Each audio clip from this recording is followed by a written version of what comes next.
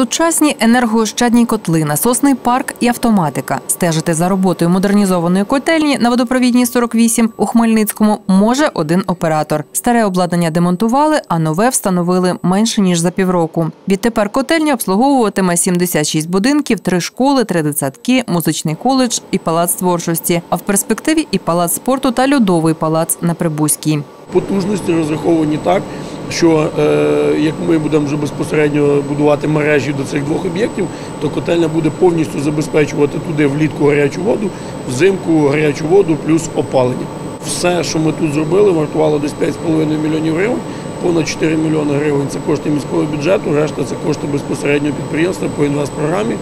Це повністю реконструйована і модернізована котельня. Модернізація котелень і проведення децентралізації в подачі гарячої води дозволяє втримувати у Хмельницькому одні з найнижчих тарифів в Україні. Працює літом от на ЦЦТП, гарячу воду.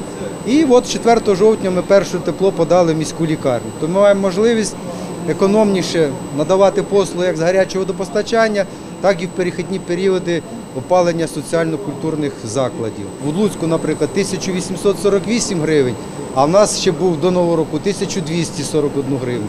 Тобто, вдумайтесь, 600 гривень за гігакалорію.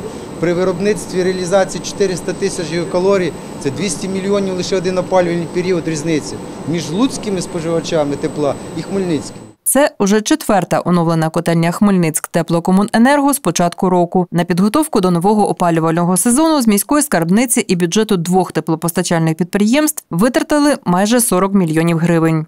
Реконструювали чотири котельні теплокомуненерго. На одній сьогодні ми безпосередньо перебуваємо одну котельню південно-західних мереж.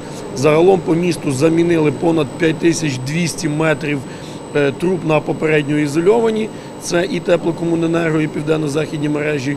Змонтували одну нову когенераційну установку на південно-західних теплових мережах. Я впевнений, що буквально там за день-два, максимум три, ми забезпечимо тепло в оселях кожного хмельничанина.